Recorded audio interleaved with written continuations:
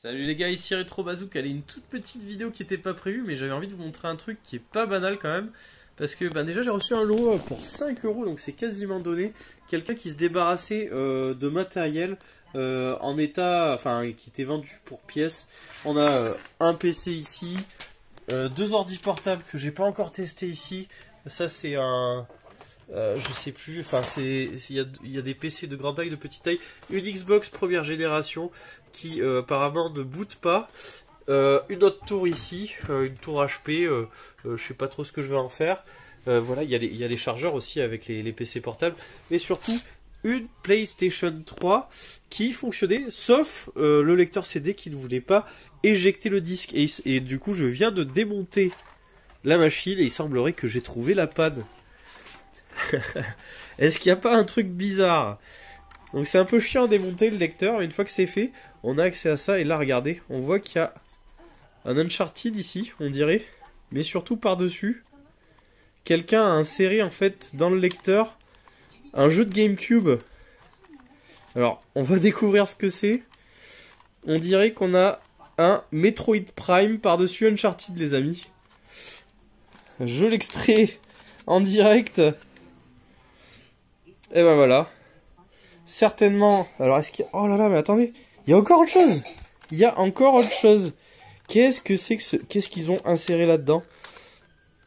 Qu'est-ce que c'est? Mais what? Il y a un troisième Il y a un troisième jeu Gamecube ah, Mais qu'est-ce qui se passe? Un Super Mario Sunshine Et encore un CD Mais qu'est-ce que c'est? C'est la caverne d'Alibaba dans ce lecteur Mais qu'est-ce qu'ils ont fait? Mais qu'est-ce qu'ils ont fait?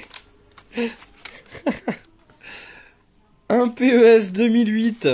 Et voilà, et voilà. Donc, ben, du coup, je pense que le lecteur sera réparé. Et en prime, on a, bah écoutez, euh, un Super Mario Sunshine et un Metroid, Prime en loose, à voir si ça fonctionne encore. Ils m'ont l'air quand même pas mal rayés. Euh, mais bon, après un petit nettoyage, peut-être qu'il marche encore. C'est des versions pâles. Bah écoutez, ça c'est... c'est rigolo. Hein. Voilà, la console vient d'être nettoyée et remontée. Euh, on va voir du coup si ben, maintenant le lecteur fonctionne. Donc je l'allume. Tac. Vous pouvez voir que. Est-ce que ça s'affiche? Ah, ça clignote. Ah, ça met un peu de temps à synchroniser. Mais voilà, ça y est. Signal détecté. La PS3 se Donc ça, c'était déjà le cas. Mais je n'arrivais pas à lancer les CD. Donc on va pour cela utiliser un petit jeu que j'avais sous la main. Donc ça c'est un jeu à moi, hein. c'est pas un des jeux qui avait inséré dans la console parce qu'ils ont l'air assez rayés. Donc je suis pas sûr qu'ils fonctionnent. Pour le test, on va plutôt utiliser un disque qui a l'air euh, plutôt propre. Un petit Pirate Warrior. Hop.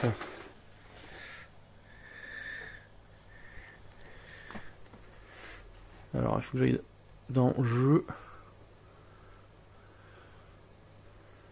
Et oui, ça se lance. Incroyable. Ah, je suis super content.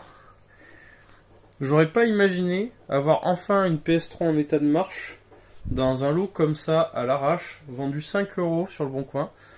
Donc je remercie, un grand merci à cette personne hein, qui m'a bah, quasiment offert le lot, hein, parce qu'à 5 euros, on a deux portables, deux consoles et deux tours. C'est vraiment, voilà, c'est pour pièces, c'est pour se débarrasser plutôt que d'aller jeter euh, à la déchetterie. Tant mieux, comme ça je vais pouvoir euh, rejouer à JoJo's All-Star Battle